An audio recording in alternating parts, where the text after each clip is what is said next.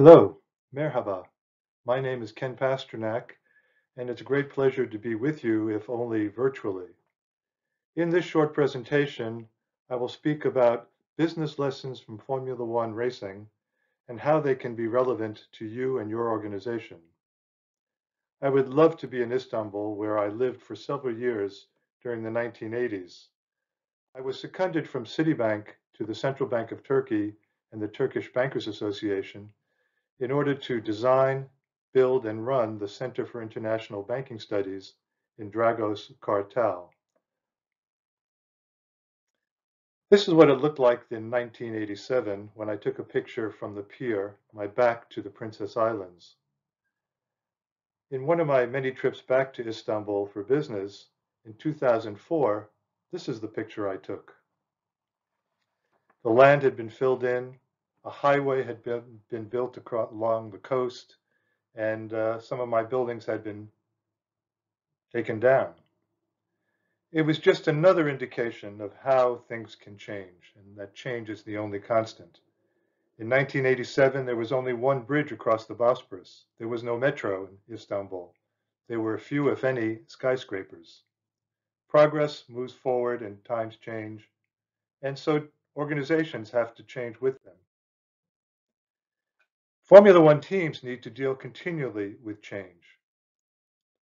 They have to deal with change in regulation, technologies, material science, competitor strategies, and even on race day in terms of weather and track conditions.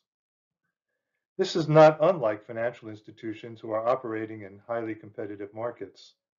You need to be flexible and agile. And in fact, when the new CEO of UBS took over a year ago, he told the staff we need to be flexible, agile, and focused. And this is exactly what Formula One teams are. In this short presentation, I'll tell you what Formula One is, for those of you who don't know, why it's relevant to your organization, and some useful takeaways from Formula One racing that could be useful for your leadership team. Formula One is the pinnacle of technology. It is a hotbed of innovation, creativity. It also consumes, analyzes, and manages a huge amount of data. And that data is used in order to make some fast decisions in order to compete effectively in this global, highly competitive industry. A typical example of the technology is the steering wheel on a Formula One car. It has at least 25 buttons relating to brakes and differentials and power unit, unit adjustments and several other items. Each one can cost 50 to 100,000. So you get an idea of what we mean by high technology in terms of motor racing. The other key factors for success in motorsports and Formula One in particular is the power coming from the engine that uh, right now is a V6 hybrid engine, uh, from aerodynamics, the downforce that keeps the car hugging the surface of the track, from the use and choice of tires in order to enable it to get the most out of its car, and of course reliability, that all this works uh, so that there is no disqualification before the end of the race. To finish first, first you have to finish. There are 10 teams in Formula One. Each car has two teams. The team sizes range from 150 to at least 750 employees, so they're quite large businesses. Sponsorship of the teams totals well over a billion dollars, and this is the engine for some of the creativity and budgets and innovation that takes place in Formula One. As I said, these are very complex cars. They're V6 hybrid engines with energy recovery systems built in. Each car can be about 25,000 parts, many of them manufactured in-house by each team, others supplied by partners. Each car has a power unit that could cost upwards of $10 million. And each car that starts the season doesn't necessarily end as the same car. We don't always see these changes, but as many as a thousand changes can take place within a car each week from race to race as the organization, the racing team discovers new ways to get greater speed. There are 22 races this year in 20 countries. Next year, they're looking to do 23 races. But what's interesting, as some races had to drop off, for example, in Japan and Singapore, other races have come in. In addition to the usual Middle Eastern race is in Bahrain and Abu Dhabi, we are going to race for the first time in Saudi Arabia, and Qatar. And once again, like last year, Istanbul, Turkey has come back to the Formula One schedule.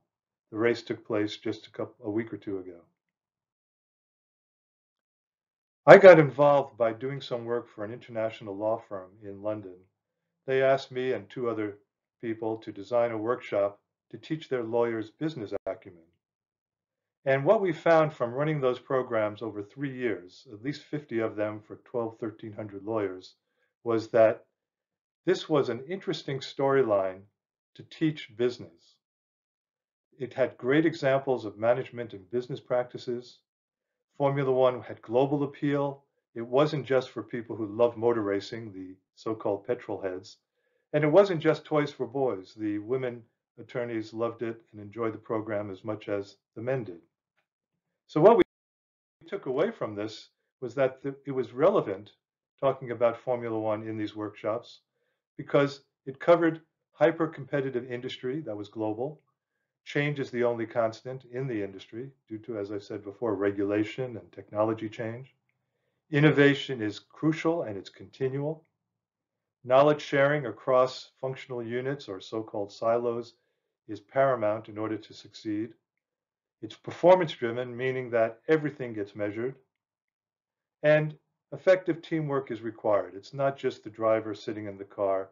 It's all 150, 700 of the employees working together to provide the fastest car each weekend. So in summary, Formula One is about sustaining performance in a dynamic, regulated, competitive environment. It's about achieving high performance at the limit of each team's financial, technical, and human potential. And it's about being agile and adaptable as regulation and the situation and competition changes. To my mind, this is no different than your mission as leaders of financial institutions. As I said, I started by getting involved in this workshop for law firm. And over time, based on that, these two colleagues and I who did the workshops wrote Performance at the Limit, Business Lessons from Formula One, published by Cambridge University Press. It came out in Japanese the next year. And then in 2007, we made an eight part TV series inspired by the book with the BBC called Formula for Success. 2009, we wrote a second edition. A, South Asian edition came out two years later when there were actually Formula One races in India for a short time. 2016, we wrote the third and latest edition of the book because so much had changed in the industry and with the teams. And that's been translated into Turkish and into Chinese.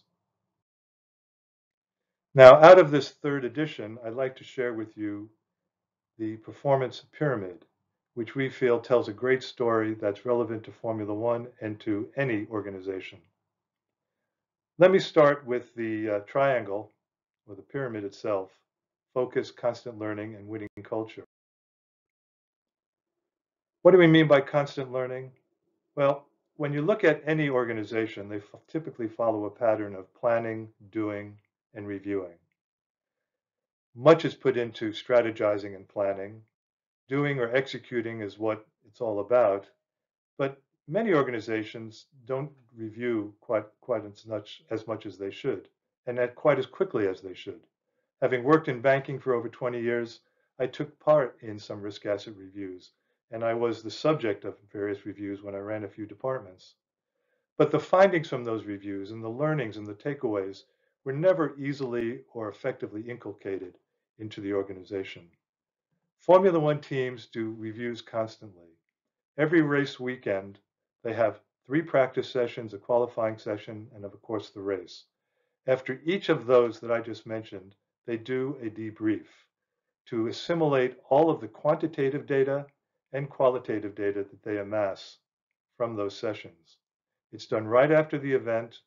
They ensure that the right people are in the room or are attending virtually They have a process and a system to go through the data very carefully and very systematically so they don't waste time.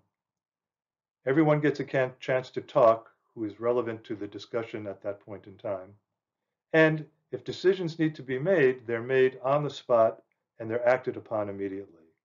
That's how they develop a continual cycle of learning that enables them to improve and improve and improve after each experiment and after each practice.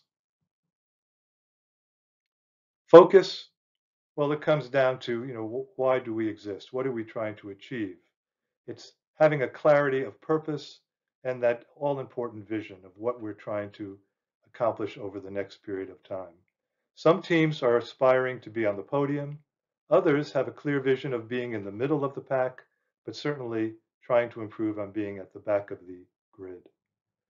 And that vision is shared throughout the organization, just as it would be in any organization, through constant communication from the leadership team to ensure that everyone is working towards the same purpose.